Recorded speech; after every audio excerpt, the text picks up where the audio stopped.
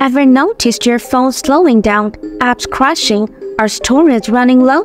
Clearing your app's cache and data can be the ultimate fix. Hi there! In this video, I'll show you exactly how to do that on your Xiaomi phone. Let's get started right away.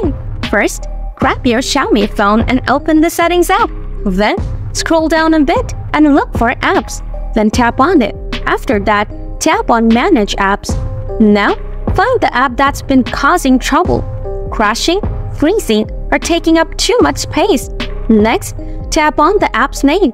Afterward, hit Clear Data. Select Clear Cache from the pop-up menu.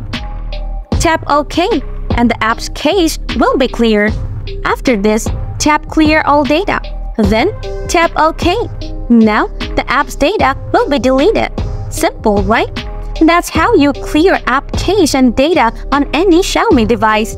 If this video helped you, don't forget to smash that like button.